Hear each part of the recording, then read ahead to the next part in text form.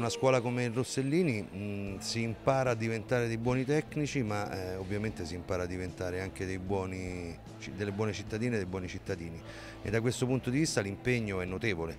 eh, perché gli studenti del Rossellini accompagnati dai loro professori, dai loro docenti partecipano alle iniziative e progetti vari. Oltretutto Rossellini non è una scuola che ha un suo territorio di riferimento ma pesca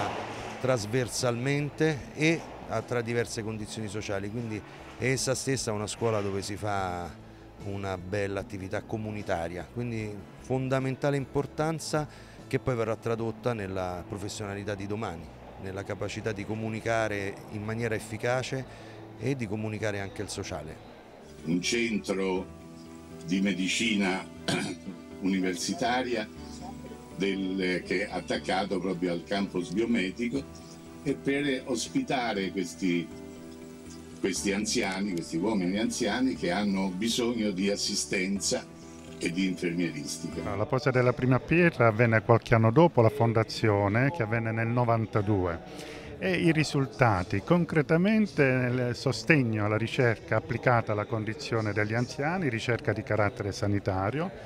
eminentemente, ma anche eh, sociosanitario e sociale. Attualmente nel territorio intorno a Trigoria, eh, dove sorge il campus biomedico, ora eh, da poco abbiamo sottoscritto e stipulato una, proprio una, una un contratto d'intesa con la stessa Università Campus Biomedico di Roma per la realizzazione in quel territorio di concrete realtà di servizio in favore degli anziani.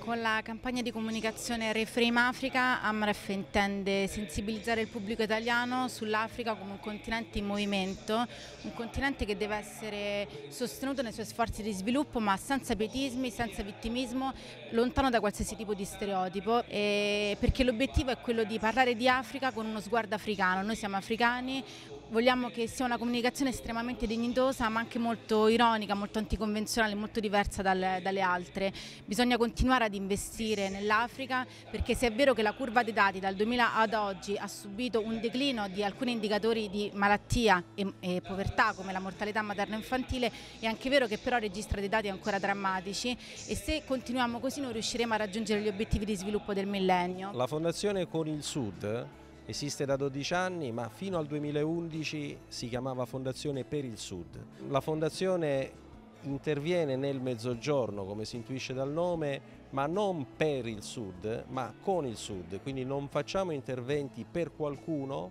quindi in un approccio più assistenzialista ma eh, con qualcuno anzi con tantissimi